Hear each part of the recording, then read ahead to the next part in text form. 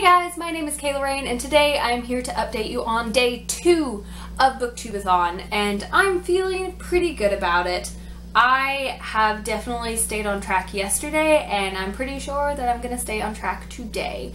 But without further ado, let me just jump right in and tell you what challenges I finished and what challenges I plan to finish tonight. So the very first challenge that I completed for Booktubeathon Woo! Little party right here. I read Anna and the French Kiss by Stephanie Perkins, which completes the challenge read a book you really want to read. And this was a reread for me. I loved it. Actually I ended up basing my day two video challenge off of this book. I recreated a scene more reimagined the first scene of anna and the french kiss just because i love that first scene because it just sets the tone for the book. A little bit angsty, a little bit funny. I love this book. Then today I ended up reading We Should All Be Feminists by Chimamanda Ngozi Adichie and I read this on my lunch break. This is the second time I have read this. I read it immediately after I bought it last Friday and I loved it and I read it again today and I loved it again and I will probably read it again this weekend and just analyze it and just really break everything down.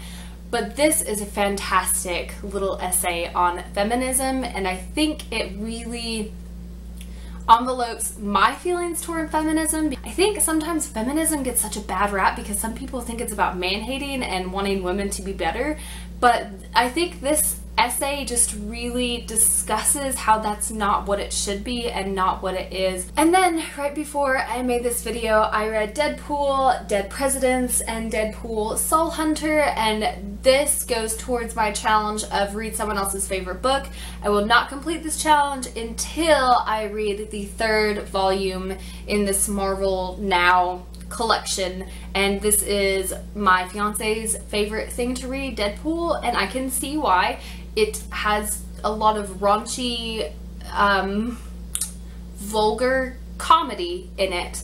Uh, I don't know that I appreciate it quite as much as he does, but it is still well written. It is very self-aware. The fourth wall is broken a couple times in these, and Deadpool makes fun of a lot of superhero tropes, and I appreciated that. So far, I'm giving both of these a three and a half out of five stars.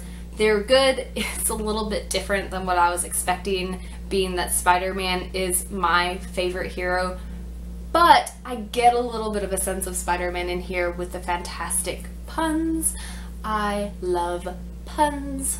And my total page count for the day is 320 pages, which brings me ahead of my day's reading goal. And I will complete my Read Someone Else's Favorite Book Challenge tonight because I plan on reading the third installment of the Deadpool series, which my fiance tells me I absolutely have to read to get a good feel for Deadpool. Also that the third volume is his favorite out of all of them, so I kind of had to work my way up to that one anyway. Staying on track, doing pretty well, and hopefully I will be successful in Booktubeathon. Go ahead and leave a comment in the comment section below and let me know how you guys are doing. Um, and just remember, if you feel like you're a little bit behind, we still have so much time. It's just day two. So yeah, I hope you guys are doing awesome.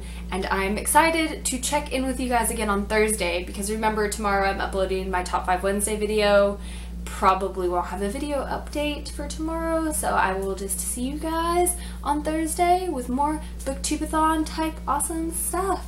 Alright, as always guys, thank you so much for watching. Stay weird.